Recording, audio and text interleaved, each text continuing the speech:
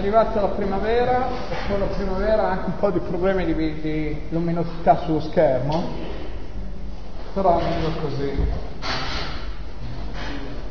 Uh, è un po' che non ci vediamo perché c'è stata la, la festa dei 150 anni dell'Università Nazionale, quindi eh, spero che abbiate tutti visto la, la scena del, del, del dei nostri parlamentari interrogati su cosa significasse la festa dell'unità nazionale. Abbiate visto il livello di ignoranza che regnava, confondere il 1861 con il 1871, 60-61 con la, breccia di porta Pia. Vabbè.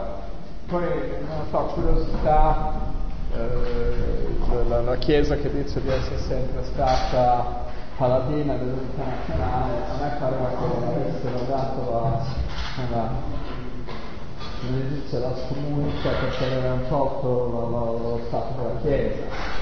Fino ai fatti lateranensi non mi pare che fosse tanto paladina dell'unità nazionale, però sono solo curiosità storiche.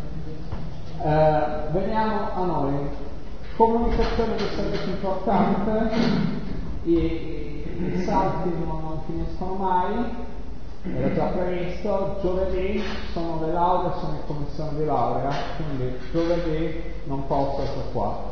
Però viceversa vi invito a, a incominciare a partecipare alle sedute di laurea, perché eh, tra un anno e mezzo, un anno, un anno e mezzo, spero che ce la voi, e a quel punto vedete come fatto una laurea, come sono i lavori di laurea e magari vi fate anche un'idea su, sull'argomento che vi piacerebbe trattare come, come lavoro di tesi. Guardate, guarda, quel docente parla di quelle cose, quell'altro sono abbastanza correlate ai corsi che facciamo, ma non sempre sono così eh, coerenti, così vicini.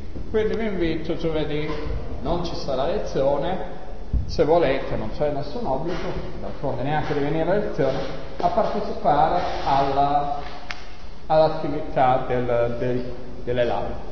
Mercoledì ci sono le lauree triennali, Giovedì ci sono quelle eh, specialistiche magistrali, dipende se erano quelle che si sono iscritti prima.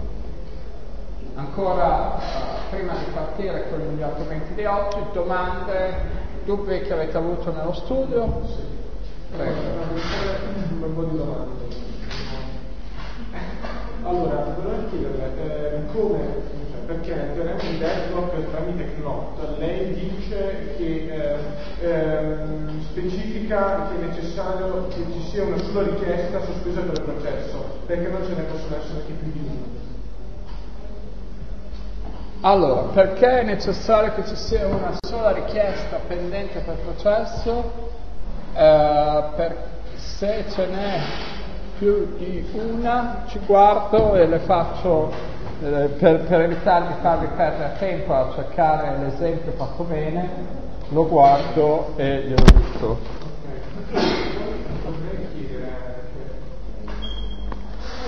perché nel 57 lucido del quinto pacco come avvendi uno è presente il numero 45 eh, siccome, siccome eh, dovrebbe essere che il cash on hand è zero dopo dice che si suppone che uno dei processi restituisca 35 allora chiedere se appunto il valore dovesse essere eh, anche questa è una domanda che si risponde meglio, va bene, quello si può guardare, ma mia preoccupazione di non annoiare i colleghi. Allora, il primo è fa, eh, fare il controesempio eh, CNOT con più richieste pendenti. Secondo, eh, mi diceva Lucido, eh, lucido 57 del quinto fatto. 57 e lei mi dice che eh, c'è eh, un cash on hand che è sbagliato. Secondo me errato per caso dopo la restituzione.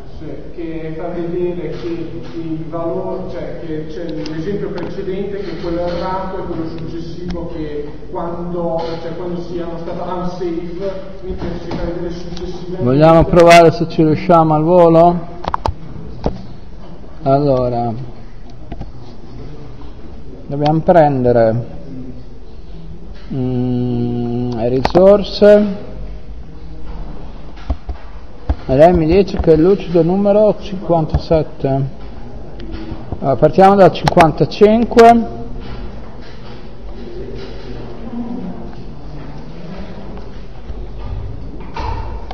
allora questo è l'esempio giusto? Che, che dice c'è lo stato unsafe cash on hand è 10 questo è unsafe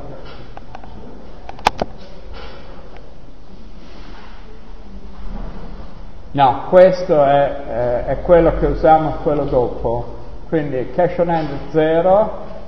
Se il cliente 5 restituisce il prestito di 35 euro, la situazione diventa safe. Quindi il cliente 5 eh, restituisce il prestito di 35 euro, perché il cliente 5 che non credito restituisce il prestito attuale perché il cliente 5 35 euro vediamo il confronto tra i due dov'è?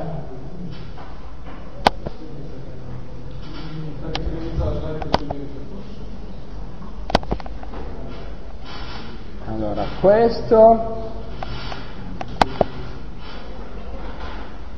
allora qua replace, uh, ricarica. Quindi il 5 restituisce 35, allora questo è coerente, 35 e restituisce nel lucido seguente qua c'è scritto 70 070 e se restituisce 35 il on hand deve diventare 45 questo è il suo dubbio? sì, sì. Eh, ovviamente eh, continua, aspetta che guardo, eh, eh, altrimenti non avrebbe senso, non, non, sarebbe, non sarebbe safe neanche questo se fosse zero, perché eh, cashionando non soddisfa nessuno, quindi è semplicemente sbagliato quel numero, è vero, è sbagliato il numero, quindi questo l'abbiamo risolto. Poi dopo una precisazione per quanto riguarda il concetto di unsafe sempre, mm? cioè sia che eh, lo stato è unsafe quando n di più 1 è minore, cioè non viene rispettato di variante che n di più 1 è minore uguale di più i. Mm. Volevo chiedere appunto questo, eh, cioè si dice che in questo caso è sì, perché invece cioè, l'algoritmo del banchiere è una simulazione prendendo la parametrazione dei processi, mentre invece nel caso reale si potrebbe avere che quel processo richiede esattamente n, quindi si dà... Cioè, Freiberg, quella simulazione che mi fa per dire che si può dare con sicurezza, safe, la risorsa del processo indica che c'è uh, uh, guardiamo dalla unsafe, il fatto che sia indica che c'è almeno una sequenza delle operazioni che blocca tutto. Ok? Perché se tutti chiedono il massimo, non sei in grado di soddisfare nessuno. Okay. Però eh, i processi sono autonomi, sovrani, fanno quello che vogliono, possono restituire le risorse, allora anche se lo Stato è unsafe può ritornare safe. Però eh, se si evita che possa esistere questa, questa eh, sequenza che provoca l'effetto vuol dire che qualsiasi sequenza successiva a quello stato non lo provoca. Quindi tutti singolarmente sono, possono chiedere il loro NI e prima o poi lo otterranno. Perché? Perché se Data quella sequenza che abbiamo scoperto da secchi, basta aspettare in ultima analisi, ok? Uno fa una richiesta, basta aspettare che quelli prima nella sequenza rilasciano e lui verrà soddisfatto. Quindi siamo certi che prima o poi, almeno in questo modo, riusciremo a soddisfare. Poi volevo chiedere, eh, in quanto l'interval time, se ho capito bene, è un, un dispositivo hardware sì. che è gestito però eh, dal kernel che è un dispositivo software. Quindi l'interrupt per l'avvicendamento dei processi di tipo hardware o software? L'interval time è un interrupt hardware. È un interrupt hardware. Uh, dato da un apparecchio, eh, si comporta esattamente come se fosse un dispositivo di, un dispositivo di imputato. Un altro fattore, se lo volete vedere così, ah, ricordo anche una stampante. Se ci pensa bene, alla fine il comando per stampare glielo dà il software, allora non è che lo chiamiamo una stampante, la chiamiamo software perché la comandiamo del software. Tra l'altro l'altro fattore che è differente due è chi è la causa del questo. Le software sono causati da qualche cosa che ha fatto il processo corso. Il processo corso fa una divisione per zero, va a toccare la memoria dove non deve, oppure volontariamente dice adesso voglio un internet software, il processo in corso crea un internet software. Guardiamolo ancora dall'altra parte. Uh,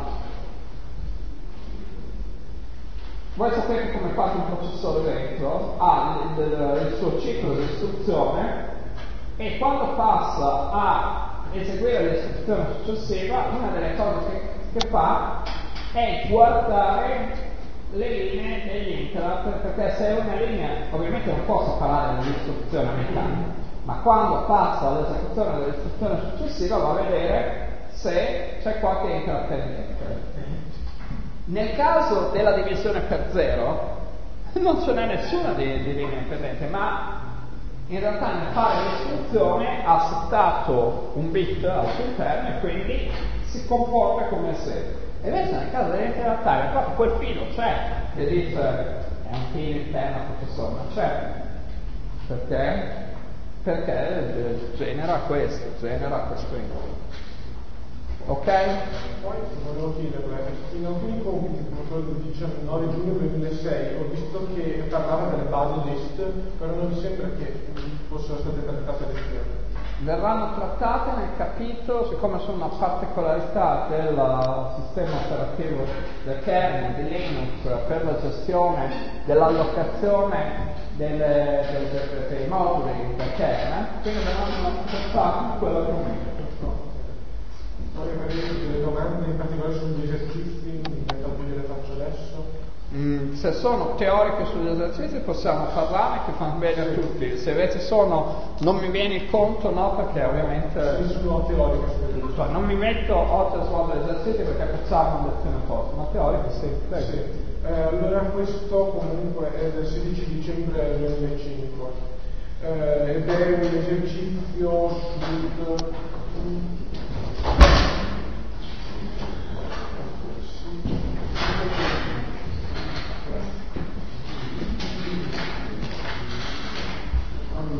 un esercizio sulla gestione dello schema dei processi. Mm? Allora, eh, volevo chiedere, durante l'attesa eh, che, un processo effettui, cioè che per l'attesa di un processo dell'input-output da parte di una periferica, anche, cioè, eh, il computo del time slice viene interrotto o, viene, o si continua a... Cioè, cioè lei mi dice, quando io ho, ho eseguito per 2 millisecondi, il time slice è 5 millisecondi. Quando uh, quindi vengo eseguito per 2 millisecondi, poi mi sospendo. Quando uh, ritorno dalla sospensione mi vengono dati 3 o 5 millisecondi? Questa è la domanda. Uh, 5 perché il, l'input output è uh, un un tempo di ordine di magnitudo molto superiore a quello del time slice. Ok? E quindi uh, viene. Quindi eh, volevo chiedere anche quando si. La politica, con la politica si può fare di tutto, cioè uno quando scrive un sistema operativo che faccia questo, ma di solito non si fa e poi dopo al termine della gestione dell'input output da parte del processo, e quindi ritorno in esecuzione eh, all'interno della CPU, eh, si mh, mm, considera eh, un nuovo, eh, da, si considera da zero time slice o è considerato nel tempo precedente? Mi posto la risposta precedente. Allora qual era la domanda precedente? Ah, ok, perché la domanda precedente era se ad esempio ci sono due eh, secondi di esecuzione e poi ehm, eh, output appunto ehm, se si contavano i 5 secondi anche ehm, tra ehm, per aspettare 3 millisecondi a far partire il processo successivo? No, perché ti butta via più per niente. No, nel senso il time slice è considerato sia la gestione delle esecuzioni del processo interno del CPU e sia dell'attesa oppure viene considerato soltanto eh, Secondo me è un problema di terminologia e di definizione. Il time slice nel time share serve per dare il tempo massimo che un processo oh, può usare monopolizzando la CPU. Quindi un processo prende la CPU S più va, quindi continua a fare calcoli, calcoli, calcoli, e dopo 5 millisecondi dell'intero time dice basta, adesso deve andare avanti un'altra. Quando ha perso il controllo dello skill, basta, cioè lo scheduler calcola chi è il prossimo e riassegna il time se è il prossimo. Se invece nel frattempo quello si blocca, rimane bloccato e, e poi al, lo schedule lo riprenderà in considerazione quando la sua operazione di imputato sarà terminata. Poi, quando si raggiunge il valore di priorità del processo massimo, sì. eh, evidentemente si avrebbe starvation se questo processo tenesse sempre la stessa priorità. Eh, se la priorità è statica, sì. Quindi ehm, tutte le priorità statiche nostra rete. Ehm, è per quello che è stata messa lating. Sì. Quindi ehm, se si raggiunge la priorità massima dopo ritorna alla priorità, alla iniziale. lei sta parlando dell'aging, se sa utilizzare un meccanismo di aging, aging aumenta la priorità man mano che i processi, man mano che i processi rimangono nella coda d'attesa. Quando vengono eseguiti ritornano alla loro priorità iniziale, se no, scusate, dopo un po' tutti vanno alla nostra priorità e allora facciamo meno la priorità. È solo all'inizio che ci mette un po' di più a, a, a, ad accelerare. No? Invece questo vuol dire sì, quelli che hanno maggiore priorità hanno maggiore priorità e quindi avranno maggiore probabilità di prendere questo skill. Ma quelli che hanno priorità minima, pian piano, arrancando, arrivano ad avere il loro, i loro 5 minuti di gloria, 5 millisecondi di gloria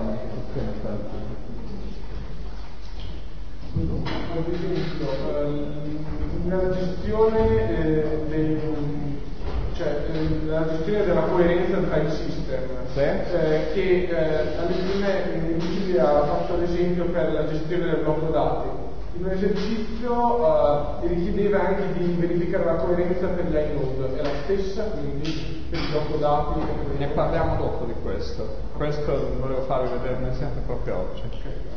Ok.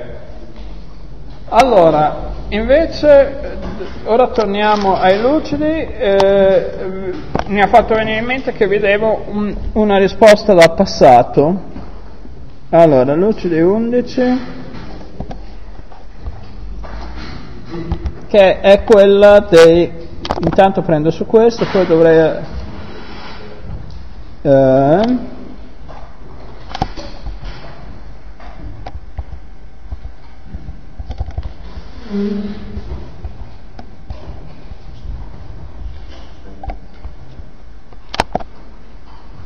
Mm. Allora, facciamo così e qua prendo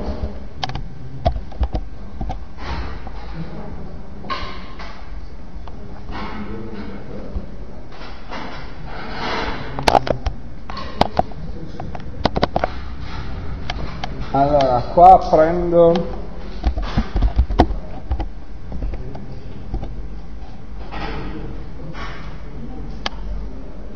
Allora, avevamo il write 1.0, write 10. Quando vedete write con due numeri, vuol dire che eh, è stato fatto write con dentro write, cioè write ridificato. Quindi per esempio uh, write lo vedete qua sotto 1.0 che è chiaro, poi potete fare 5.0 5 e 3, divertitevi a fare tutti i livelli. Se fate 0 più 1, perché eh, vediamo, ecco, 0 più 1, avete right 0 striping fra tre rischi che poi sono mirror su altri tre. Se 1-0 sarà l'opposto, fate mirror e poi fra dischi che hanno mirror fate a secondo livello il, vediamo, a secondo livello fate, ecco, fate write 1 e poi a secondo livello write 0. Ok? Quindi quando vedete, se uno volesse fare write 5, 1, 0, vorrebbe dire che avete un RAID 5. I parti RAID 5 sono uniti da RAID 1 e vari RAID 1 sono uniti a RAID 0. Vabbè, poi potete divertirvi quanto volete. Ad esempio questo, che cosa, cosa ci si guadagna così? Che fa striping, quindi Uh, la, la, velocità di accesso viene raddoppiata e uh, si può perdere un disco completamente che si riesce lo stesso a recuperare. Va bene, quindi questa era una domanda che, una risposta che vi dovevo. Andiamo avanti con i luci, poi vediamo dopo di mettere dei complementi a questa parte. Mi pare che abbia preso il lucido sbagliato, questo è di tre anni, è, è molto tempo fa, perché ho preso l'immagine il 14.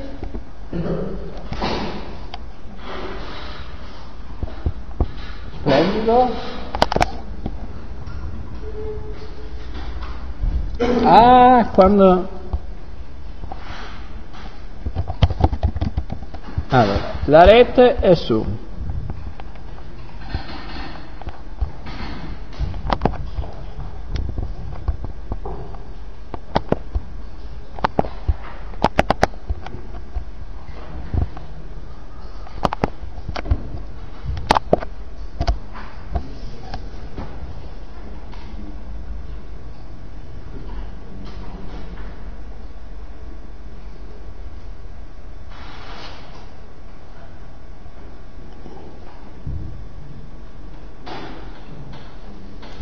Però questo è,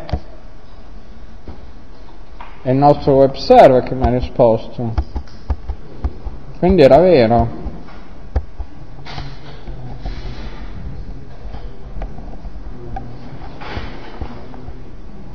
Era carico.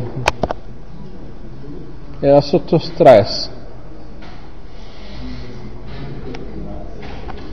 Allora, dicevi sistemi basati su journal. Come funzionano? Quando,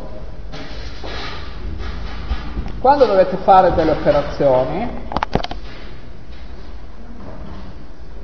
cosa fate? Eh, scrivete, prego. Ci sono delle coordinate. Ci sono delle coordinate. Una funzione giro, uno Cosa? una funzione giro.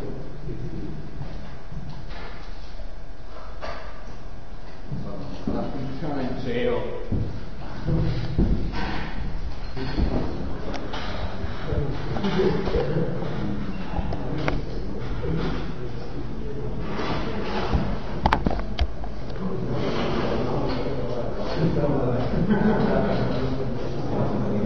E lì eh, ha ricaricato? Ha ricaricato?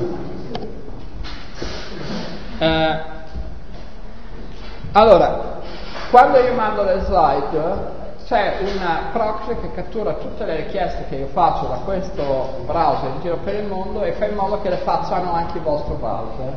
Sapete che cos'è? Prima abbiamo preso una pagina di Wikipedia, si vede che quella pagina di Wikipedia cercava altre cose o magari aveva scelta che faceva qualcosa. E quindi eh, il mio proxy ha mandato al vostro browser anche quelle richieste me le ha mandate separatamente. Vabbè, non è perfetto, però funziona. Allora, dovete leggere mm, diciamo quel prima analisi che leggete il file system. Dovete scrivere L'operazione di scrittura viene fatta non sul disco. Eh, per scrivere prendiamo un file system tipo Unix, dovete e mettere a posto uh, l'inode e scrivere sul blocco, quindi dovete fare più operazioni, perché se avete scritto, avete ampliato la, la lunghezza del file, dovete cambiare la, la, la dove c'è scritto la lunghezza del file. Poi dovete, casomai avete allocato un blocco, dovete eh, mettere nella inoltre nel blocco indice che c'è un blocco in più assestato. Poi dovete andare a scrivere il valore nuovo sul blocco dati. Okay? Quindi una struttura non è un'azione unica, è un'azione che comporta tante, tante operazioni. Allora, se noi codifichiamo queste operazioni e le, le, le mettete in una struttura lineare, cioè, guarda che io adesso ho scritto quel dato in quel blocco, punto ho scritto quell'altro dato, quell'altro blocco e così via. Ho, ho creato un file lì e eh, li mettete in una struttura lineare va bene? e a quel punto quando siete certi che l'operazione è stata scritta in questa struttura lineare mettete dite l'operazione è fatta quindi avete fatto una write il vostro programma ritorna dalla write, dalla write convinto di aver fatto l'operazione su system. Così non sarà, perché in realtà non ha scritto file system, ha scritto il log. Quindi se volete, quando andate a leggere l'operazione è un po' complessa perché andate a leggere in realtà l'operazione log è concluso ogni l'operazione nel frattempo parte su disco ok però ogni campo che non so è tutto di estrae 5 millisecondi conta sempre quei 5 millisecondi che torna controlla e va a registrare, va a guardare se ci sono operazioni da mettere su destra. No, è di più di 5, è 5 secondi, scusate, ogni 5 secondi va a controllare il log e a fare il, eh, il a controllare che tutte le operazioni siano state scritte su destra. A quel punto se sono state scritte, quel log non serve più e si comincia con un nuovo log. Cosa succede se per caso il sistema viene spento in malo modo? Il sistema conterrà sicuramente la situazione prima dell'ultimo commit della, della, del log, del giornale, fino, fino, a quel punto tutte le operazioni che sono state fatte sono veramente al posto giusto nel disco. Quindi, come dicevamo prima, il fatto che sia stata aggiunta la lettera nel il fatto che sia stata fatta, sia stato un blocco dati al file, quelle sono tutte andate motivo. Da quel punto in poi possono esserci, possono non esserci. Allora che cosa fa il, il sistema? Una dopo l'altra le torna a fare. Cosa può succedere? Può succedere che eh, facciamo esempi naif ma uh, da, da capirci.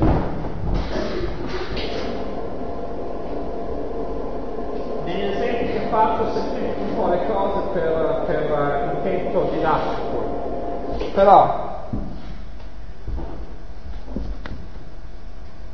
Poniamo che ci sia qua un blocco dati. Prendiamo due.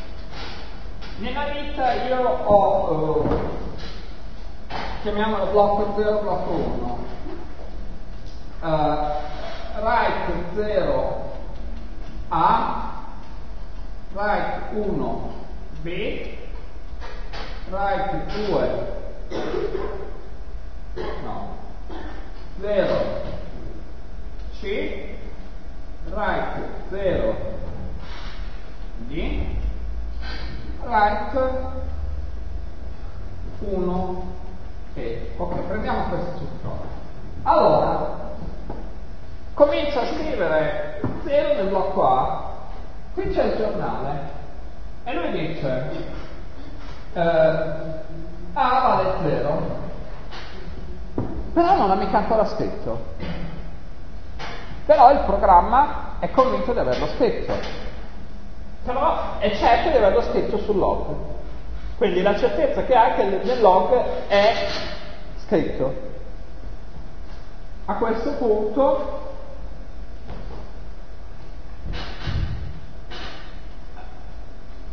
scrivo B1. Nel frattempo però può darsi che il ritardo venga scritto. A questo punto scadono eh, i commit, allora prima di andare avanti quello che c'è nel, nel log deve essere portato qua. Ok, a questo punto questo non serve. Andiamo avanti, 0C, 0E, 01E e qua si rompe tutto. Cosa può esserci qua sul disco? Negli altri blocchi che non sono stati toccati da operazioni fatte ultimamente ci sarà la cosa giusta. Ma in questi può darsi che ci sia già, può darsi che ci sia già D e qui ancora B, perché nel frattempo può darsi anche che ci sia E ma non ci sia C, perché non è detto che sia, sia, sia avvengano tutti alla stessa velocità o tutti insieme. Però a questo punto, siccome non ha certezza, l'ultimo punto cui avere la certezza è questo, torna a rifare le operazioni. Quindi, anche se aveva già scritto D, ci torna a scrivere C, poi torna a scrivere E, e poi scrive E. Qual è il problema?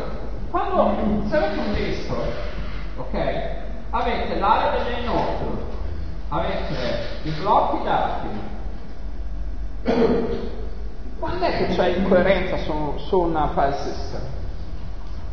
Quando avete delle operazioni che sono per metà fatte e per metà no.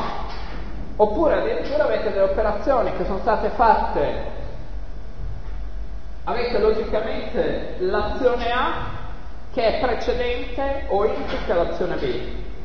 Gli effetti sul disco dell'azione B ci sono già, quelli di A no. E quindi lo stato è coerente, perché ponete per, ci sono delle cache. Eh, le node abbiamo detto che vengono bufferizzate nella memoria quando i file sono aperti.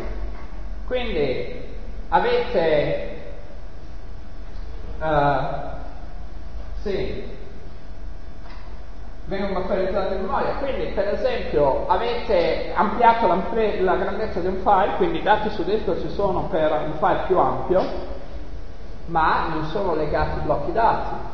Ok? Oppure avete un file molto utilizzato, quindi è in cache, e quindi avete scritto prima un file molto utilizzato in cache e rimane in cache, e dopo avete scritto un file uh, come conseguenza, un file poco utilizzato, che ne so, il solito esempio, uh, togli i soldi da, dal conto corrente dell'università e mettili nel mio conto corrente. Le operazioni sul conto corrente dell'università accadono sempre, quindi per far prima tengono i dati in cache, il mio una volta al mese mi arriva lo stipendio, bella grazia, e, e e a quel punto una volta scritto non serve più e l'hanno... Quindi quando vado a riprendere, nel mio file c'è la situazione nuova, che è conseguente logicamente, in quello dell'università che è antecedente logicamente c'è ancora quella vecchia. Ok? Il bello del giornale è che è lineare, quindi torna a fare le operazioni nella stessa sequenza nel qua- nella quale erano state fatte originariamente e quindi al massimo rifà operazioni fatte. Attenzione, queste operazioni non sono sommo 1, sottraggo 1, sono metto il nuovo contenuto e quindi sono idempotenti. Quindi se io cambio, se io ho una cosa, avevo detto scrivi A lì e dopo torno a scrivere A, è come avevo scritto una volta sola.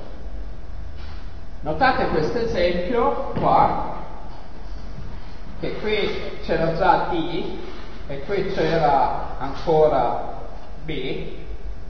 Io in realtà torno a mettere per un attimo un valore obsoleto per poi rimettere, ma siccome svolgo, srotolo l'asse della storia, torno a fare le operazioni esattamente come erano state fatte.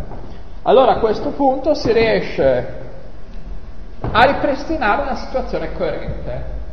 Attenzione, non è detto che contenga tutte le operazioni, arrivo subito tutte le operazioni che erano in corso, perché magari un'operazione, eh, magari un'operazione aveva avuto degli effetti esterni e non è venuta registrata quindi avete dato, avete dato il programma che aveva dato un feedback, mi avevate, avevate comunicato all'esterno, era nella parte non ancora mh, messo a posto del giornale, le fai i punti fermi e non si vede di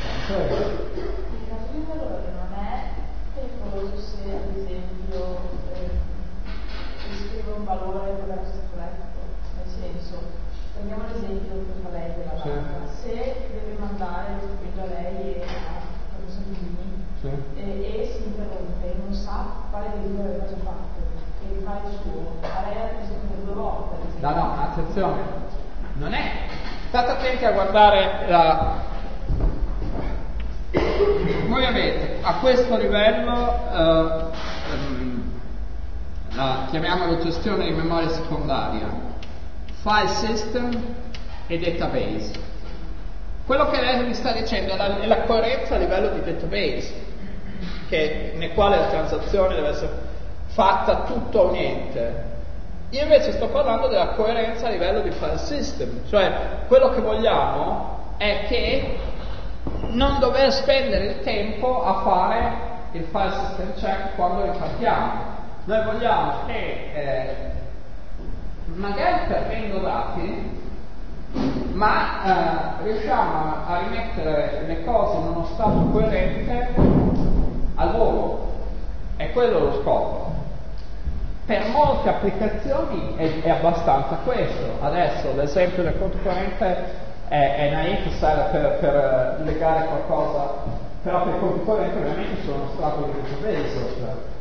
Però per esempio per l'uso personale che fate voi de- nei personal computer, che eh, magari vi mettete a scrivere, spero, un device driver per il vostro kernel e vi fa panic perché avete fa, perché quando fa, lavorate a quel livello non avete un po'. Se un puntatore va spasso per la memoria a livello kernel avete panic. E quindi tutto si spegne in malo modo, oppure più brutalmente avete la lavatrice e il forno, cose che capitano, a quel punto il vostro problema è non dover aspettare mezz'ora perché ormai avete tutti dei terabyte di roba in giro, c'è tutto di fare l'intera scansione, ma volete in poco tempo tornare. Vi siete persi eh, il download che avete fatto 5 minuti fa? Buonanotte, rifaremo il download, non è quello il problema. Ok, quindi quando viene modificato il file system l'operazione viene rimossa. Se si guasta deve essere ripetuta. Vediamo se mi richiamano vuol dire che è una cosa urgente la segreteria. Sì, segreteria personale. Volevo chiedere, quindi è per questo che ad esempio quando si spegne non correttamente il computer in un sistema Linux, eh, dopo comunque c'è il file system check, eh, perché anche il- la gestione del giornale non potrebbe- eh, a volte potrebbe non registrare tutte le operazioni. Allora, se lei ha degli X2 c'è il file system check per forza, perché il X2 non ha il giornale. Se lei ha un X3 o X4 o altre che hanno il giornale, a quel punto quando accende vede che fa, dice Recovery Journal e tra l'altro ogni tanto dice eh, che ha cancellato dei file orfani. Quali sono i file orfani? I file che ha trovato eh, esistere ma che per nei suoi conti non dovevano esistere e li butta via. Ok? Però eh, è, è un tempo molto breve il controllo del giornale. Mentre invece il file system cerca proprio quell'operazione di scansione completa. Col giornale non fate scansione completa. Per sicurezza, non si sa mai, anche il software per volta um, può avere dei bug, per sicurezza di solito se voi create un file system X3 è settato che ogni 32 volte che direi 32 che l'ho montato 180 giorni senza aver fatto un controllo. La prima volta che l'ho rimontato dite no stavolta per essere certo un controllino lo facciamo. Un po' come quando andate a fare il, il check-up eh, di salute no? facciamo il check-up anche al file system Comunque, se volete, questi parametri sono modificabili. Ogni tanto è bene fare i controlli del file system. Con TuneFS, TuneFS vi sintonizza, eh, come si dice, come si chiama Tune? Le piccole regolazioni. Tara, l'operazione di taratura del, del file system. Quindi eh, gli effetti collaterali che non vengono registrati nel journaling eh, vengono definiti per il se non sono stati, eh, sono stati se sono nella parte incerta del giorno, vengono eliminati, ma non ce ne sono fatti a mezzo, o ci sono o non ci sono. Però può darsi che qualcuno abbia già letto qualcosa delle operazioni che avete fatto prima della rottura e quelle non ci sono più. Quindi il journal garantisce una coerenza interna, non è in grado di poi garantire una coerenza esterna. Anche la coerenza bisogna vedere ciò che volete. Ah, questo è bellino. Uh, è un esempio dei file system, è il FAT. In particolare qui stiamo guardando le directory. Il file directory in MS-DOS è fatto in questo modo. Nome, 8 caratteri, 3 di estensioni, uno, questo sono byte ovviamente, uno di attributi, nelle specifiche quando vedete scritto reserved significa qui non so cosa metterci per il momento lo lascio vuoto, va letto in questo modo. Ora, eh, data, primo blocco e ampiezza. Intanto notate che questo ha 2 byte, primo blocco 2 byte, sono 16 bit. Ah, intanto vi dico, non mi tornavano i conti la volta scorsa, fatti 12, fatti 16, perché avevo sbagliato il fattore moltiplicativo. Nella FAT 12 ogni 4 elementi di FAT utilizzano 3 voci a 16 bit, così i conti tornano. Perché 4 per 12 fa 48 e 16 per 3 fa 48, no? Quindi quando andate a leggere la è sempre un, un, un guaio che dovete leggere tre voci alla volta, tra l'altro noi usiamo i numeri dispari, tre voci alla volta e poi su tre dovete andare a spacchettare i bit per leggere quattro campi da 12 bit. Comodissimo. Poi si accorsero che eh, 2 alla 12 blocchi erano un po' pochi, 2 alla 12 sono solo 4096 blocchi.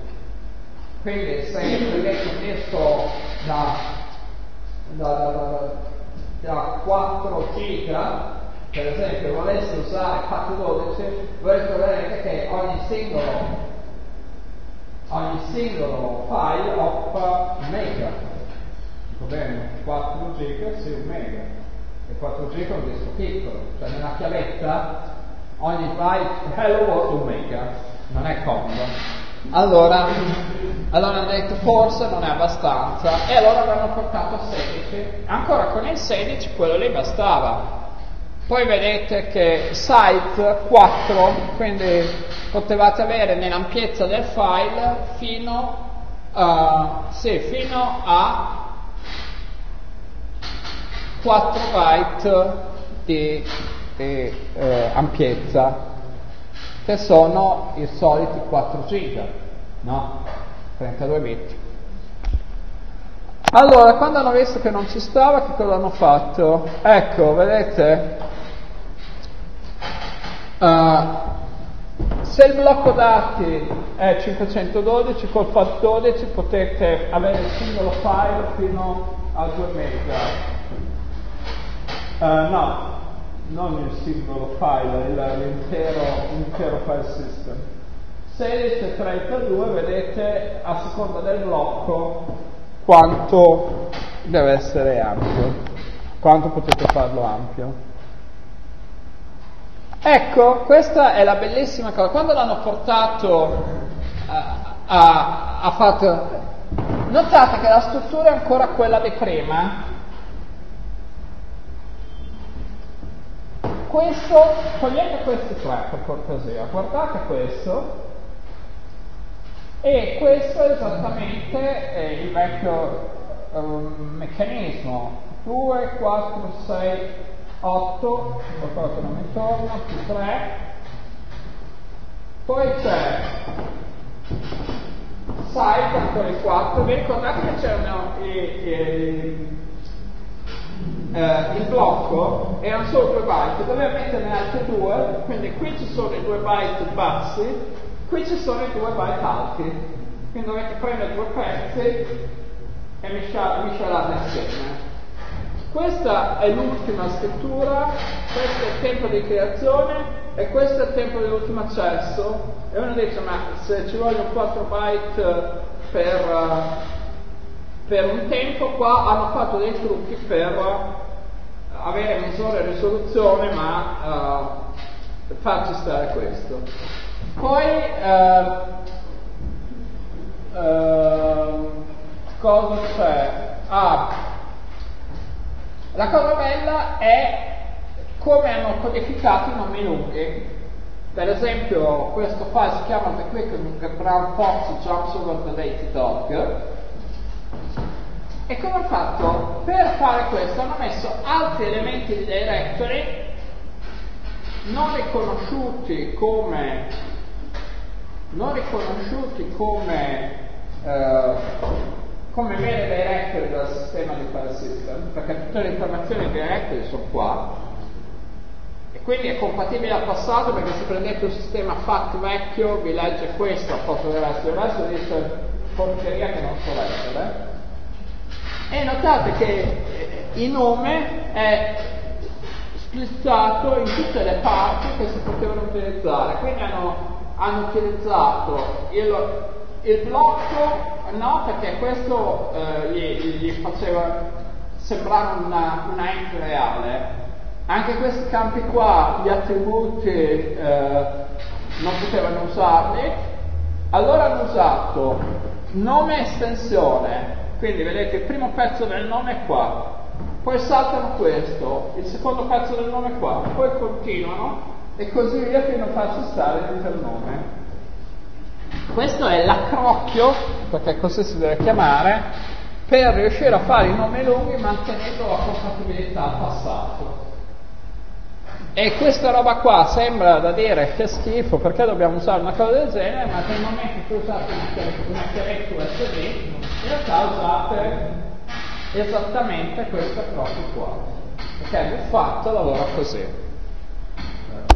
Non c'è rischio, ah no, perché è NFT, quella NFT che sì. dice che quello un tagliere. Sì, e poi anche il primo, il primo che questo è un carattere 1, non è il numero 1, carattere 1, eh, che quindi non può essere un carattere e alla fine direi che questo sia la lunghezza in byte della, della, della cosa. Come sono giudicati poi i vari file? Cioè nel senso, se io questi due file proprio lunghi nella stessa. Troppo lunghi di nome? Cioè, per esempio in questo caso qui abbiamo questo file che si chiama ne avessi un altro, eh? perché non senso, come fa questo coerentemente a... Allora, eh, non ho capito bene la domanda, cioè, questo è solo il naming. Esatto. Poi ogni file, ovviamente qua, questo e questo sono puntatori all'interno della FAT. Quindi dopo il, la, catena dei blocchi, certo. uno trova qua. Se per caso uno, uno dice ma il vero nome con cui il sistema operativo alla fine lo adopera, questo è quello che fa vedere, ma è questo qua.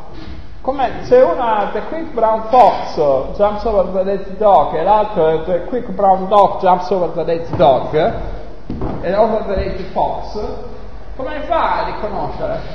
Beh, eh, c'è un'euristica per generare nomi diversi sempre qua, quindi se ha già The Quick occupato scrive the qui tilde 2 cambia nome. Infatti, se volete, potete sempre avere il modo di vedere anche i nomi DOS compatibili. Tutti i nomi nei sistemi FAT hanno anche un, nome 8 più 3.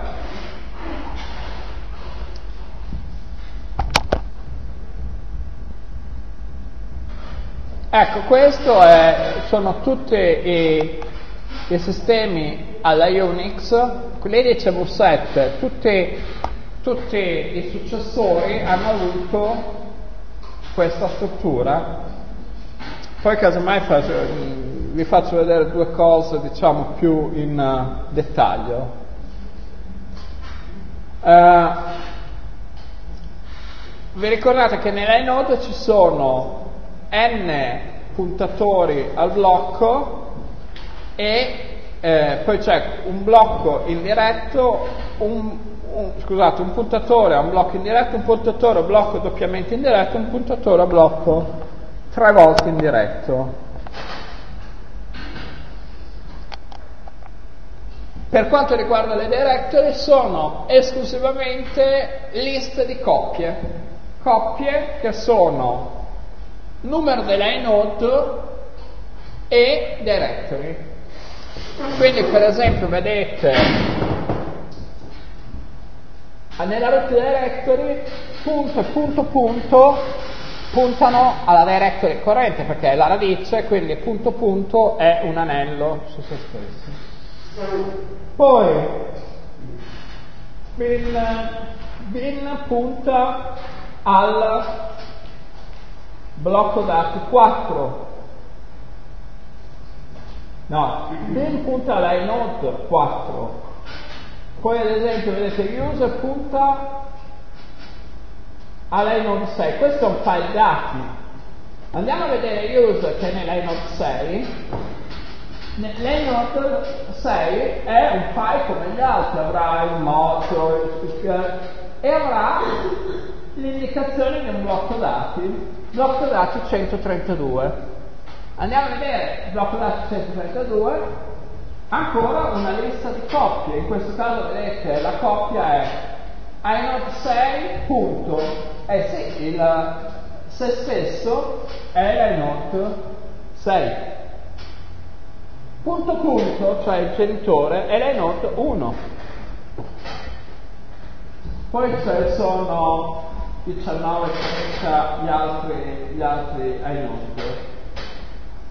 AST, questo esempio è, è preso da Andrew S. Tannenbaum, AST è la nome 26. Andiamo nella nome 26, abbiamo le solite cose, blocco dati 406, quindi il blocco dati 406 ha 26 come inode punto, 6 come inode punto punto e poi i vari sotto directory, file e così via. Quindi la gestione delle, delle directory Unix in, negli Unix in genere è molto più lineare, sono solo file di coppia, null'altro.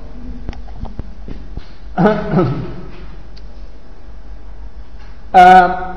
cosa c'è di più? Uno dice, ma se era già tutto così bello e funzionante all'inizio, perché hanno dovuto inserire, fare eh, Berkeley File System, poi X2, X3, adesso X4, cosa c'è in più? Allora, intanto abbiamo già visto il passaggio da X2 a X3 che c'è il giorno. Passaggio, diciamo, verso X2, cioè il fast file system, che cos'ha? Eh, la novità del vecchio file system presa poi dai, dai file system di, di Solaris e da X2 ha questa novità.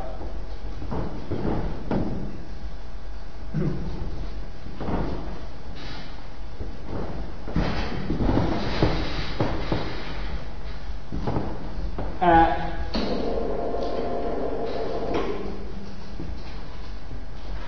sì, dopo vi faccio vedere anche l'esempio.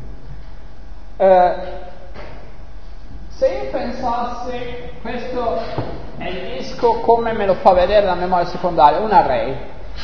Allora, la, la visione logica del, del, del file system array unit c'è il superblocco, c'è l'area dei node e c'è l'area dati, ok? E que- è fatto così. Per dischi molto grandi sarebbe particolarmente inefficiente, intanto perché quest'area è particolarmente usata, no? Perché tutte le volte che hai cambiato un file eh, bisogna scrivere leggere qua. E quindi sarebbe continuamente a fare seek da una parte all'altra del disco perché c'è quest'area qua. E poi rispondo a una domanda che mi avete fatto tempo fa. Eh, nulla, nulla proibisce a, a, un, a, un, file system fatto così di spargere un po' dopo un po' di uso i contenuti all'interno del file system. Allora, invece di farlo così, noi pensiamo anche se logicamente lo vediamo come superblocco area degli inode e area dati, in realtà nel disco non li mettiamo così, ma creiamo delle sottostrutture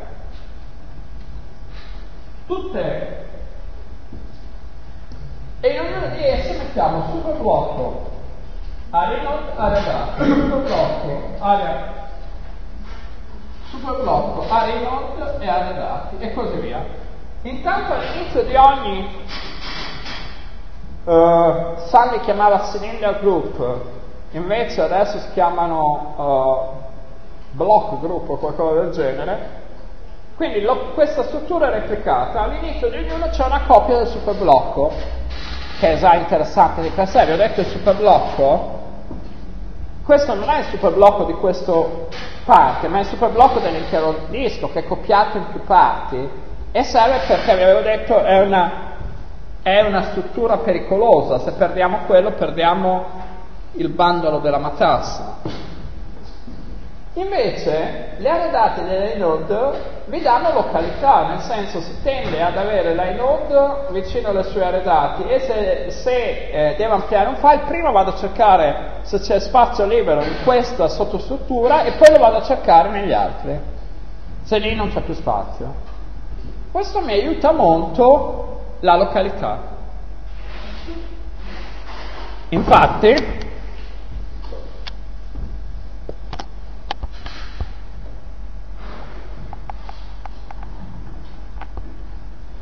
no, questo è che sono andato a fare orientamento.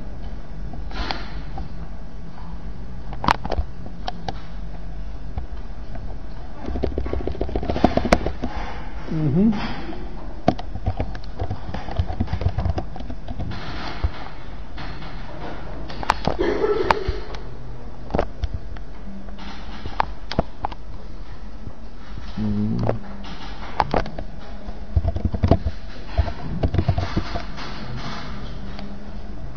Vi faccio anche vedere un'altra cosa.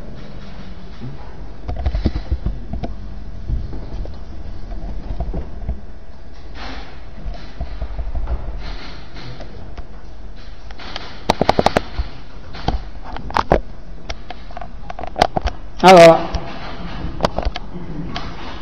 ho creato un file vuoto, ve l'avevo già fatto questo gioco, da un gigabyte. Eh,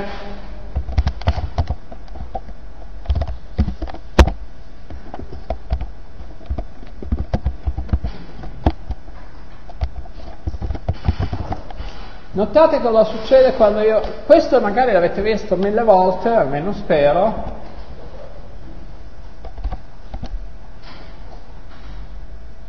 adesso è venuto qua sotto.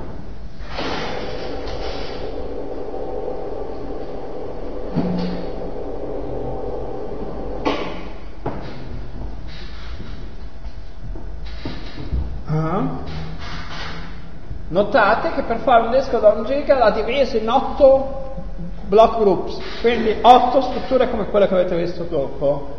Dice queste sono informazioni di controllo, ammette 8000 inode per gruppo, quindi tra l'altro notate questo file system è in grado al massimo di contenere 64.000 file. Quindi quando andate a creare un file system state attenti all'uso che ne dovete fare. Se per caso capita per qualche progetto avete bisogno di un file system che ha bisogno di un numero di file esagerato, dovete all'atto della creazione organizzare per crearlo, se no a un certo punto vi dirà non posso più creare file. Ok? E notate che il superblocco è stato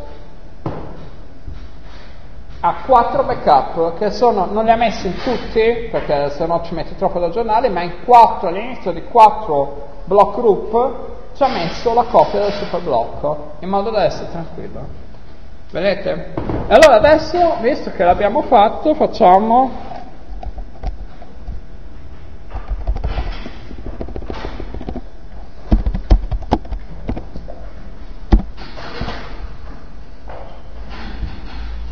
Ecco, volevo farvi vedere questo. Ho fatto un system check, ci ho messo un attimo perché è vuoto. Passo 1. Controllo gli inode, i blocchi e le ampiezze. Quindi questo è quel passaggio che abbiamo visto la volta scorsa. Conto i blocchi liberi occupati, conto eh, e vado a vedere, eh, quindi passo tutti gli inode, controllo gli, i, i, i, blocchi che mi risultano liberi occupati, se è un blocco indiretto vado nel blocco dati e controllo, e controllo le aree libere. E qua vi ricordate se eh, un blocco non era né libero né occupato lo facevo diventare libero, se era occupato Uh, e libero lo mettevo occupato, lo toglievo come libero, se era più volte occupato duplicavo il blocco dati. Poi controlla la directory, per esempio qua controlla che non ci siano cicli, che sarebbero tremendi cicli. E poi in questo passaggio tiene conto anche di, di, delle directory, degli inode raggiunti. A questo punto fa il passaggio successivo e dice fra gli endnode ci sono di quelli che non sono riusciti a raggiungere, vuol dire che sono là sparsi. È questo il punto in cui va a mettere in loss plus found i file che non trova connessi. Poi qua controlla il reference count. Cosa significa? Date le directory, lui, lui conta quanti nomi ha ogni singolo file e a questo punto conta se quello che c'è scritto nella, nella inode corrisponde al numero dei nomi. Fatto tutto questo, fa il passo 5, qui va a vedere se, avendo fatto la contabilità di tutto il file system, se questi dati coincidono con quello che c'è scritto nel superblocco e nel caso aggiunge il superblocco. Quindi queste sono le fasi del, le fasi del file system. Ce l'ho BVI?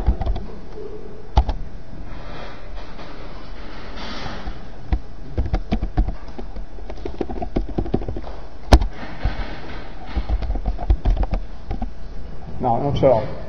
Vabbè, se volete divertirvi, tanto non fate male a nessuno. Prendete il BVI, che è un editor binario, poi andate dentro e incasinate un po' di dati e poi gli fate fare sostanza che vedete che cosa vi conviene. Tanto è, quello lì è un file su tempo avete fatto che è l'immagine del system, non rovinando il file system reale. Alla fine fate rem di tempo di estimate, è educativo per vedere come fare rimettere a posto le cose.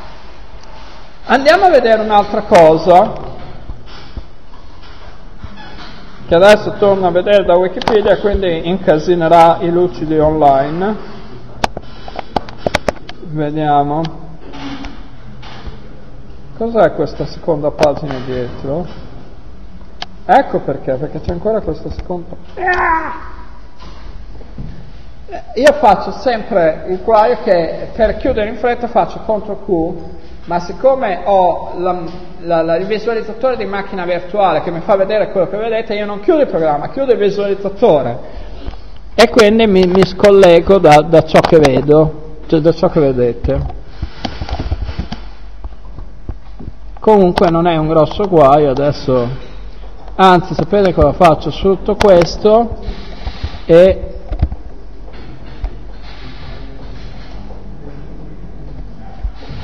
No.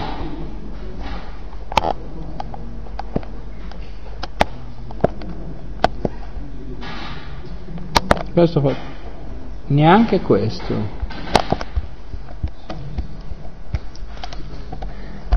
Mm. È, è più forte di me.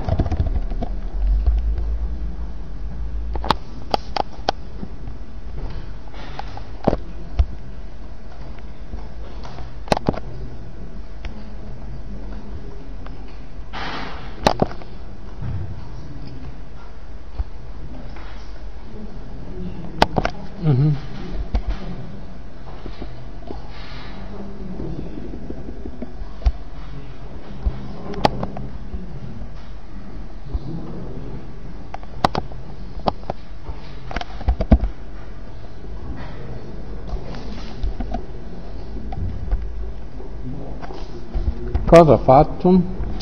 Non è giornata. Allora, adesso ci arriverò in fondo. Volevo farvi vedere, se no vado a memoria, buonanotte. Volevo farvi vedere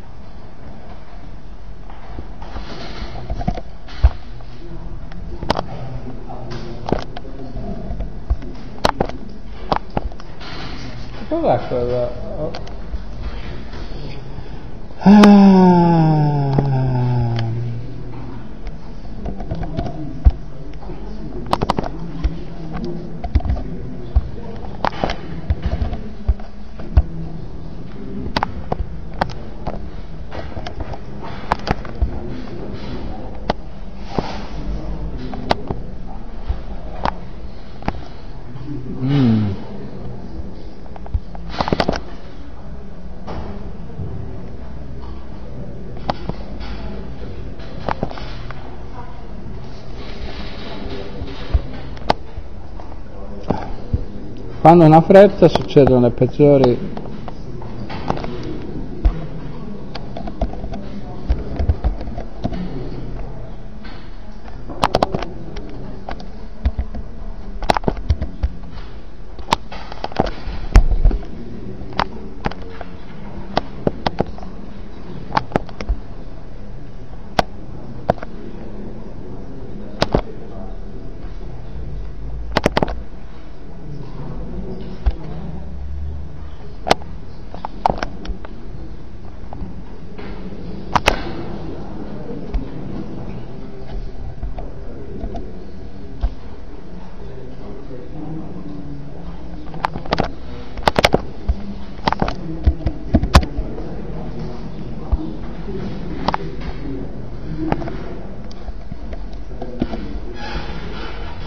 capito perché non prende più l'input da tastiera.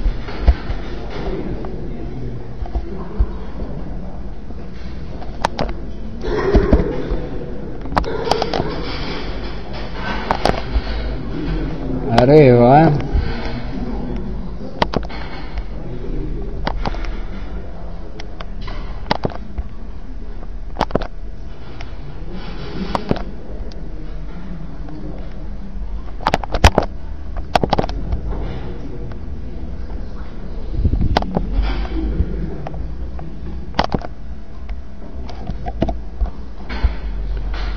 Farò? Io tra l'altro vedo... Ok, ce l'ho fatta.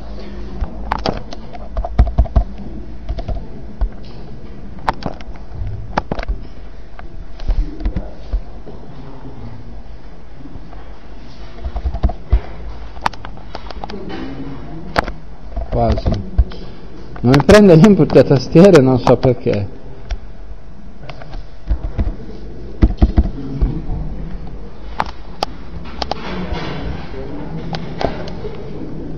Mi prende l'input da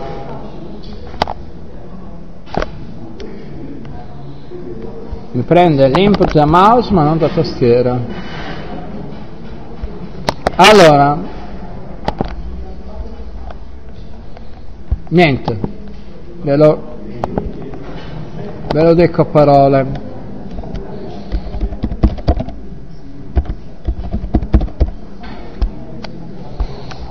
Mi sorge un dubbio, sarebbe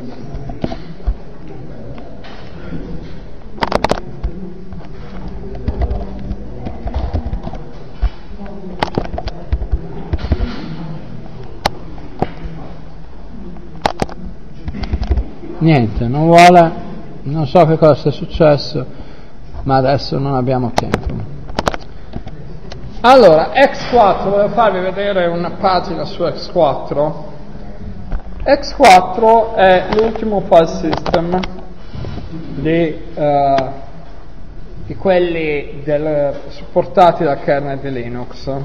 Se no facciamo così. Non sarà in streaming, però basta prendere la pagina di Wikipedia su X4 e parliamo su quella.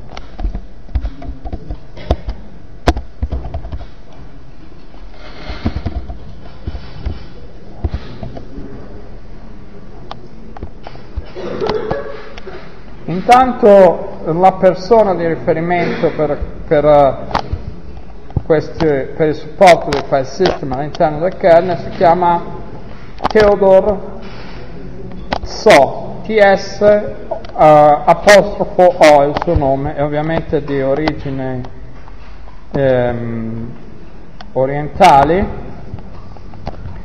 anche se penso che viva, eh, nel, che viva negli Stati Uniti, è solo così come faccio. Perché così lo vedete voi, ma non lo vedo io, va bene, facciamo una cosa fatta così lo ampio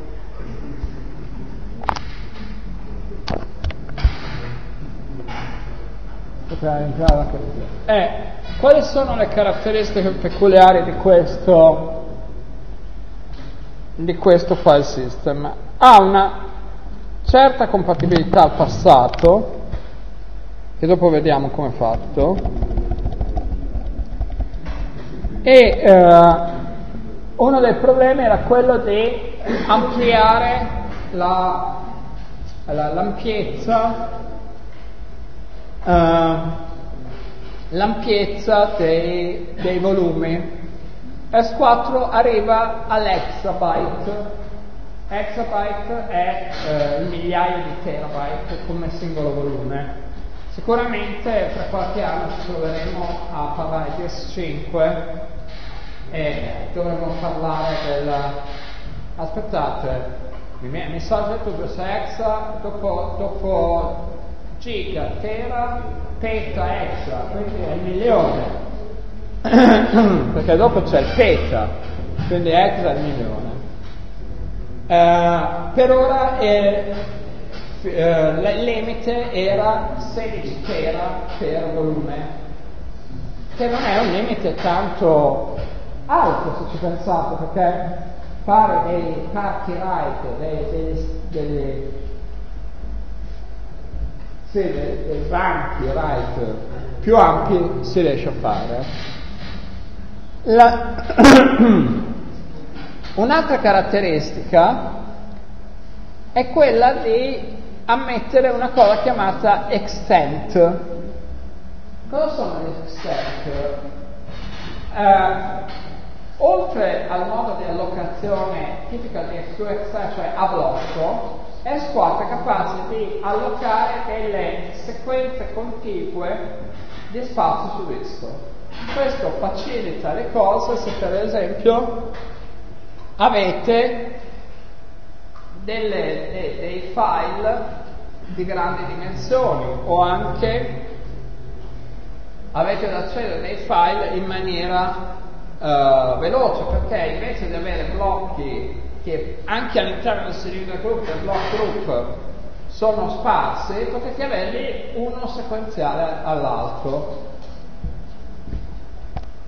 quindi ammette anche questo tipo di... è un po' scomodo questa cosa, posso, potrei fare una cosa del tipo...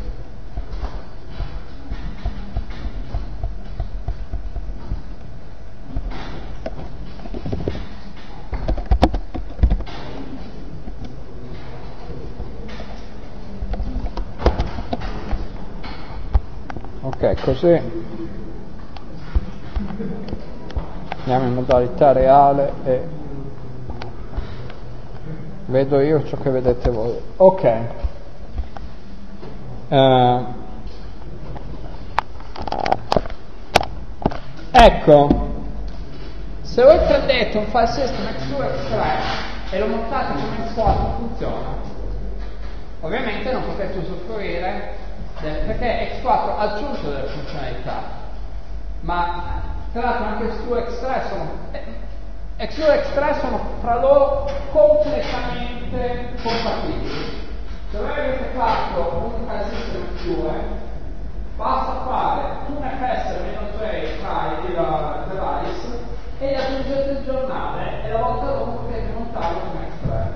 Se avete un X3 lo potete montare come X2, usare come X2 e la volta dopo rimontare come X3. L'importante è, ovviamente se avete usato come X2 e andata via corrente, la volta prossima non si può fare un estremo che vuol fare cioè perché normalmente il giornale non ha la struttura. Qui la compatibilità è più bassa, cioè avete un X2 e un X3, lo potete montare con S4, ma non, non potete avere le funzionalità dell'X4. Però è retrocompatibile. Per esempio, eh, e viceversa, se prendete un X4 e montate con un X3, ci sono delle cose che non vedrete, per esempio tutti i file che hanno l'X3 non le vedete perché non è in grado di gestirlo. Nell'Enode al posto delle, dei blocchi dati mette le dichiarazioni di senso, ne, ce ne stanno quattro, ma potete avere dei blocchi indiretti dell'exam, cioè un blocco o una, un exam che contiene sequenze dell'exam.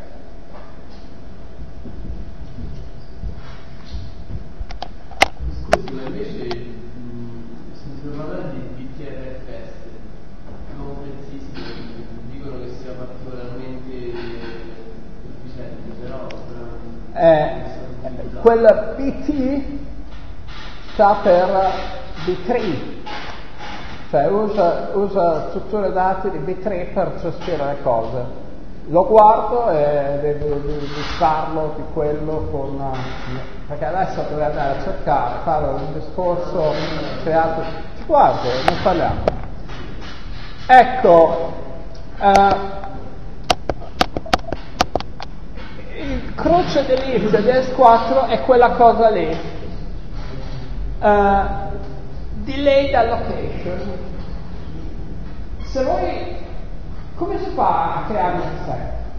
Cioè uno dice con X2 X3 tutte le volte che avevo un blocco da scrivere chiedevo dove è il blocco, dove lo metto e il file system mi metteva lì. Come faccio io a sapere mentre uno scrive un file se ho bisogno di 10, 20, 100 blocchi dalla singola write non lo so. Allora che cosa fa? ritarda la vera allocazione fino al momento del flush. Cioè lui, se sta copiando un file di gigabyte, lui fa finta di copiare ma in realtà è in cache, quando fa flush della cache dice guarda, dall'ultimo flush della cache qua mi ha scritto un mega di roba una dietro l'altra, senti, file system ce l'hai un extend omega da qualche parte. Eccotela e quindi scrive tutto l'extend con tipo in un colpo. Questa è la delete, ma perché la croce? E perché è stato commentato tanto qua?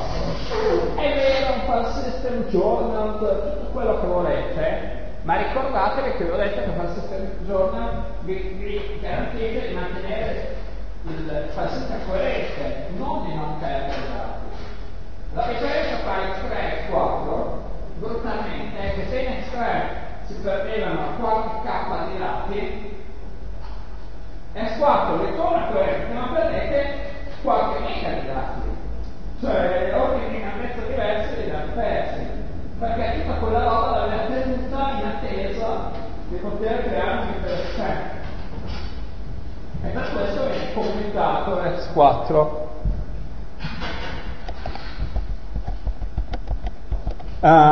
Uh,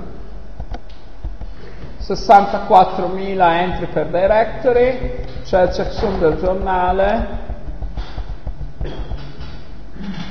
così, infatti vedete dopo questo che è il commento che vi dicevo, possibilità di perdere dati all'interno del, del file system.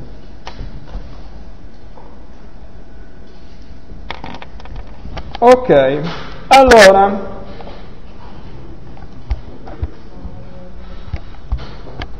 Vediamo se riesco a recuperare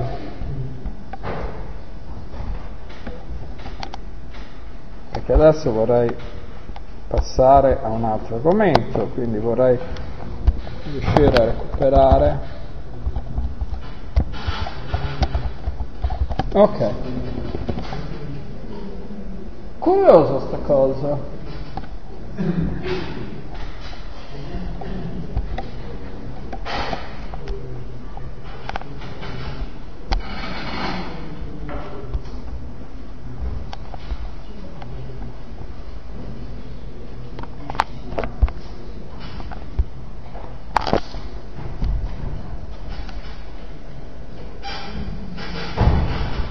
Era come se nel programma di visualizzazione remota fosse rimasto bloccato il tasto control. Me ne sono accorto premendo il tasto J che mi andava a capo. E allora J a capo, allora mi è bastato spingere tre volte il controllo, l'ho sbloccato ed è partito. Va bene, allora luce di 11, passiamo al capitolo successivo per me molto simpatico, spero che piaccia così anche a voi, che è il capitolo sulla sicurezza, direi.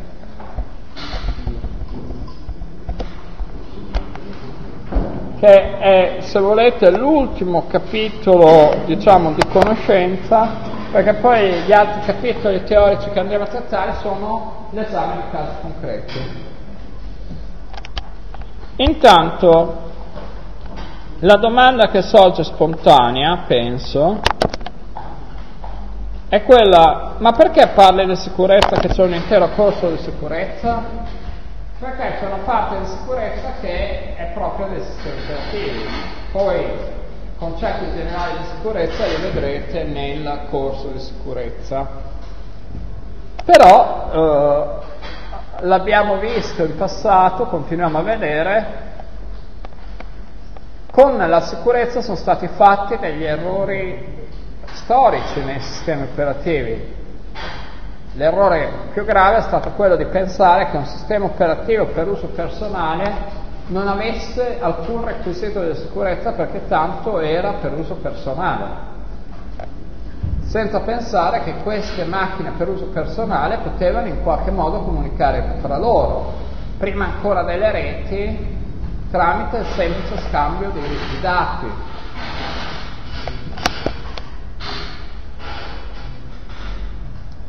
Allora, sicurezza è un problema generale che eh, coinvolge non solo sistemi informatici, ma anche sistemi politici, finanziari, legali, amministrativi. È un concetto assoluto, una cosa sicura e una cosa non sicura. Il concetto assoluto le implementazioni dei concetti non lo sono mai. Trust è la misura della fiducia della sicurezza. E protezione è l'insieme dei meccanismi che si mettono in essere per garantire, per cercare di incrementare il livello di sicurezza. Queste cose sono completamente, sono abbastanza scorrelate.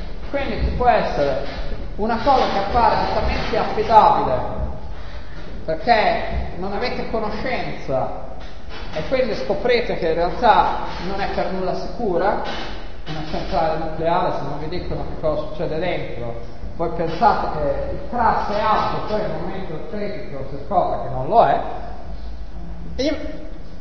protezione sono quei meccanismi che avrebbero dovuto essere messi in atto per renderlo sicuro. Quindi il concetto si applica dappertutto. Ci sono tre concetti chiave della, della sicurezza. La disponibilità, l'integrità e la confidenzialità, la riservatezza in italiano. Disponibilità, integrità e, e, e, e quindi per ognuno dei tre concetti possiamo capire qual è un problema. Intanto cosa sono? Disponibilità, il fatto che un servizio sia disponibile, sia utilizzabile. Secondo me la maniera migliore per definire il concetto è anche vedere qual è il problema di mancanza di... Il problema di disponibilità si chiama denial of service, diniego di servizio. Caso tipico. Se io prendo una, un sistema operativo e uno dei miei utenti ha la possibilità di caricare talmente tanto la CPU da renderlo inservibile, quell'utente crea un diniego di servizio per tutti gli altri. Sulle reti, perché è applicato ovunque. Se io ho dei uh, dei, dei siti attaccati in giro per il mondo, ok? e insieme faccio in modo che tutti questi mandino dei ping verso cloud, cioè in continuazione verso una core utente che ha una DSL, quello non parlerà più perché un traffico talmente alto che la sua linea è satura. Integrità, integrità è la, la garanzia che il dato io ho manipolato venga mantenuto invariato, non ci siano delle variazioni non autorizzate. Attacchi all'integrità sono attacchi di, eh, uh, come si dice, di uh, modifica per esempio il defacement del sito web è sicuramente un attacco all'integrità. Ma anche senza questi attacchi ci può essere un altro tipo di sicurezza che può essere violata. La, la confidenzialità molto letteralmente o riservatezza. Cioè, anche senza modificare i dati, lasciando che i, i, i servizi vadano come devono andare, qualcuno può ricevere delle informazioni che non doveva ricevere. Ok? Per esempio, guardando attacco, andiamo sul sistema operativo, attacco alla riservatezza è uh, quello di uh, andare a tracciare il PS, cioè il print status, guardare i processi, e se per caso qualcuno ha scritto male uno scritto che passa le passo come parametri di comandi, comparirà talvolta nella, nella scheda dei comandi chiaro la passo, la prego e la salvo.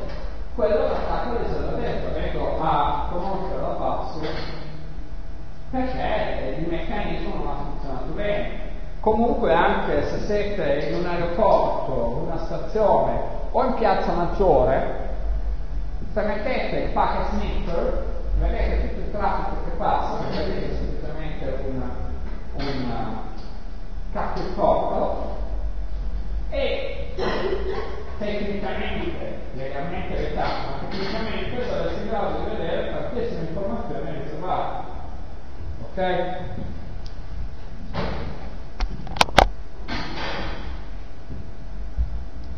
Uh, allora, violazione della sicurezza, disclosure, attacco alla confidenzialità, alterazione, modifica, integrità denial service.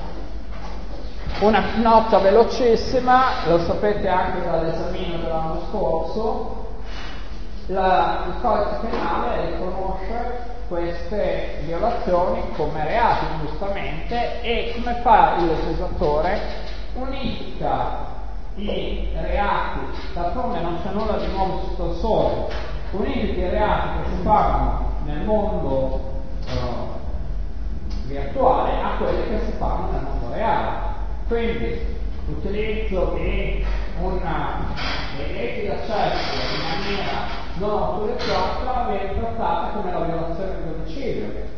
Non parliamo poi della violazione del segreto epistolare, leggere le lettere degli altri, che è uguale se la fate aprendo con vapore la busta indirizzata ad altri, oppure guardando una mailbox di altri, e così via. Uh,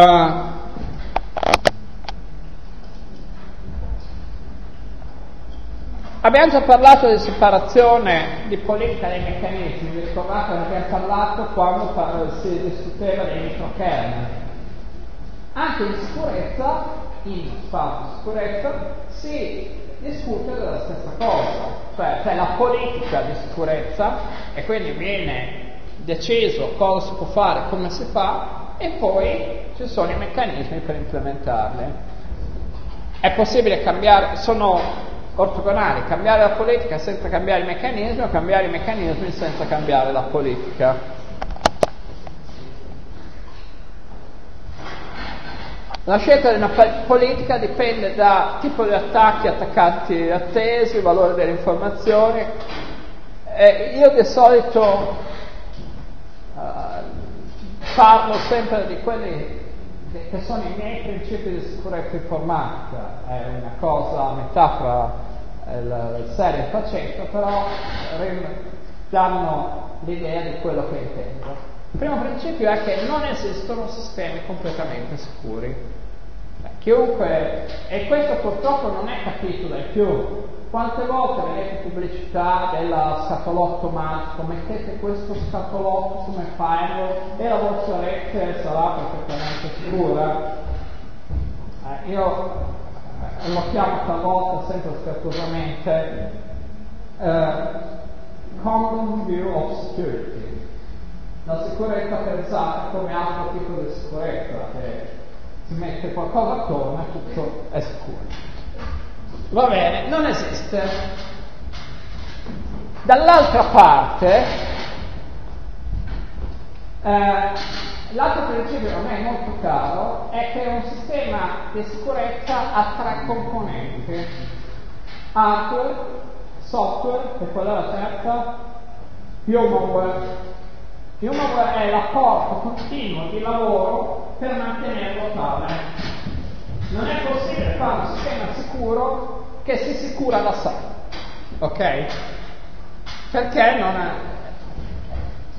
I nostri tecnici passano le mattine anche a guardare il log del giorno prima, guai se non lo facessero. Passano la giornata a guardare gli alert e i, uh, gli aggiornamenti di sicurezza che arrivano. E così garantiamo un livello accettabile di per andare avanti. Non c'è nulla di peggio, lo vedremo dopo, e sistemi non aggiornati. Perché se da un lato la sicurezza deve essere aggiornata, dall'altro si aggiornano anche quelli che vogliono attaccare la sicurezza. Quindi non, devono andare di pari passo. Però ovviamente eh, uno investe in funzione di quello, della, di quello che ha da perdere attenzione però che questo concetto deve essere ben pensato. N- nessuno spende n per proteggere una cosa che ha di valore una frazione di n. Però uno deve stare attento a qual è il costo della, per, per, per l'insicurezza c'è una bellissima maglietta che mi aveva regalato una volta, uh, vabbè, la traduco. Uh, se, pensi che, l'educazione, education is expensive, che l'educazione sia costosa, try with ignorance, prova quanto costa l'ignoranza. E la stessa si applica qua, se pensi quanto costa la sicurezza, pensa quanto costerebbe l'insicurezza. E ci sono cose che le persone non possiedono. Per esempio,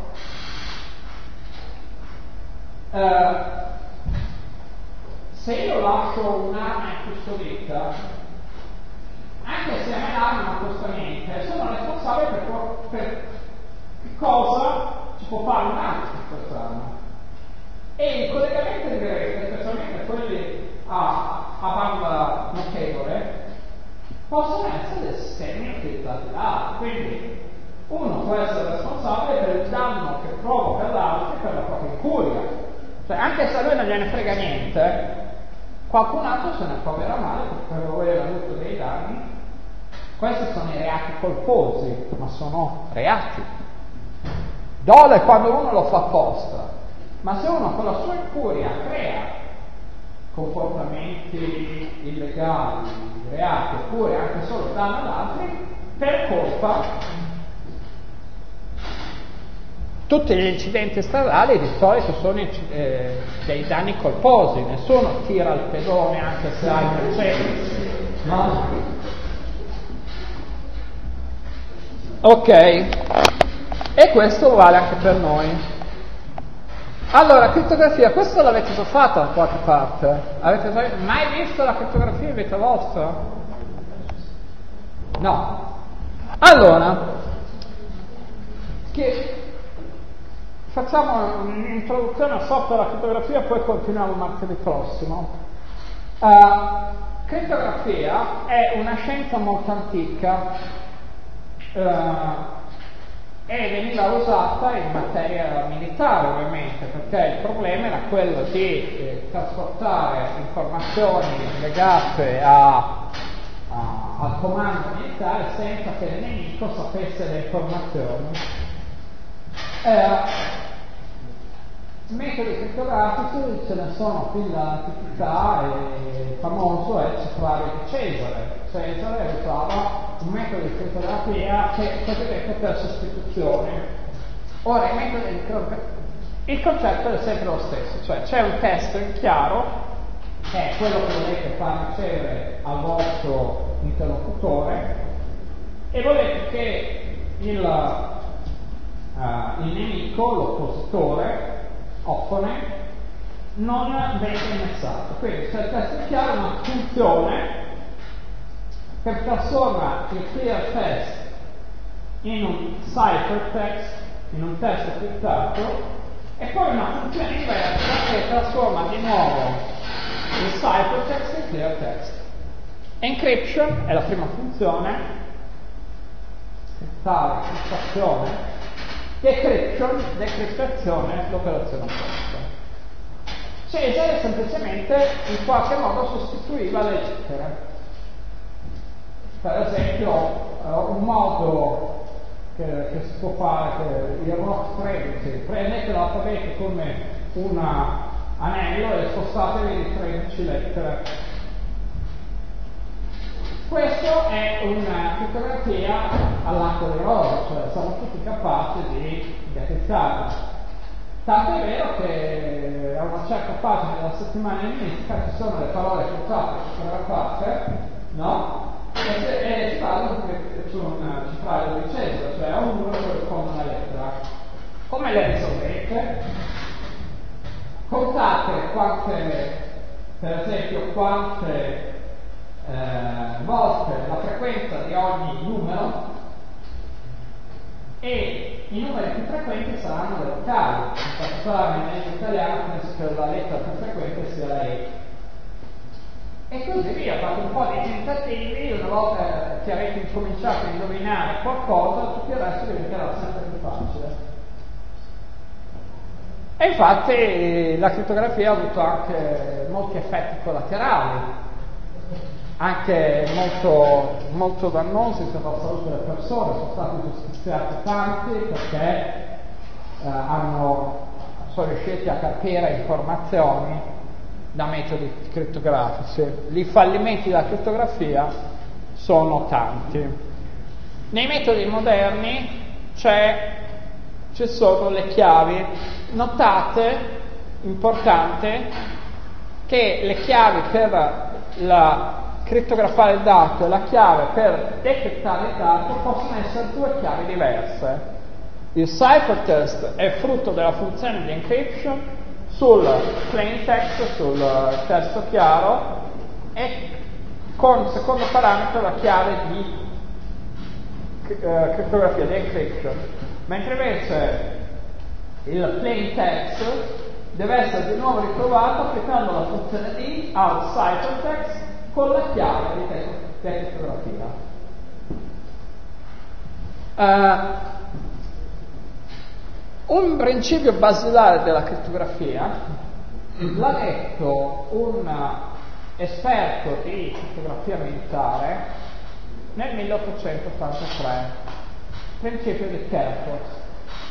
Disse la sicurezza del metodo crittografico non deve essere mai associato alla segretezza del metodo ma alla segretezza delle chiavi. E questo è fondamentale, perché se è basato sulla sicurezza del metodo, significa che se uno conosce il metodo, potrebbe attaccare il metodo. Una volta violato il metodo, sono aperte tutte le comunicazioni indipendentemente dalla chiave.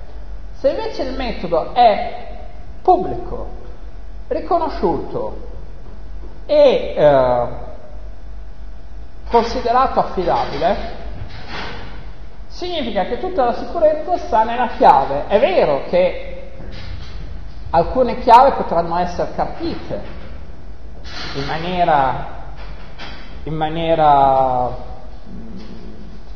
torturando qualcuno si riesce ad avere una chiave, però a quel punto si trova solo, si viola solo questa comunicazione, non tutte le comunicazioni. Oppure mandandogli una lettera con scritto la tua mailbox ha raggiunto la quota massima, scrivimi il login e password che te la rimetto a posto, no? È la stessa cosa, è la moderna tortura. Niente, sono le dieci e mezza e eh, allora ricordo, poi di vedo un calo viscoso di tempo, non so cosa dovuto, ci sono forze, cioè, cioè, carenze parziali, no, la prima vita. Bene. Venerdì c'è lezione, ci sono le lezioni perché le lauree sono mercoledì e giovedì, no, nel caso se quelle di in faz deposição, informação, que a Igreja Cristã Católica faz no